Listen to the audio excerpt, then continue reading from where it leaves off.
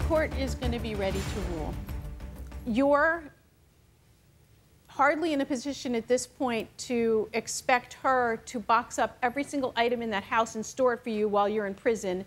And you got the benefit of selling all the stuff and having that money and using it, and I don't know what for. So, as far as I'm concerned, and we're not discussing anymore, mm-hmm, mm-hmm. That's going to be a wash for the two of you.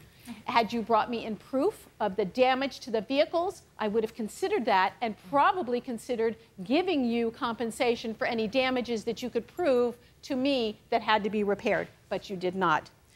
The biggest issue for me today is your dog. Obviously, the dog loves all of you. The title of this dog has your name on it. Mm-hmm. You're going to have to turn over that dog. Oh God. And you better take the best of care. Oh, I will, ma'am. Of that dog. Give her the, give her the dog right now. Mm-hmm. And you love that dog with all of your heart. Mm-hmm. Or you're going to have to answer to me.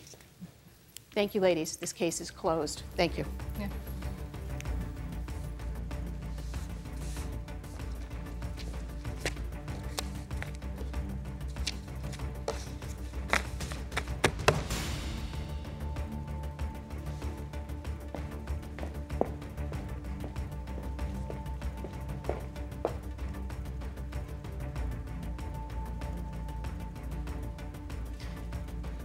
Going to prison and having felony convictions really does screw up people's lives across the board.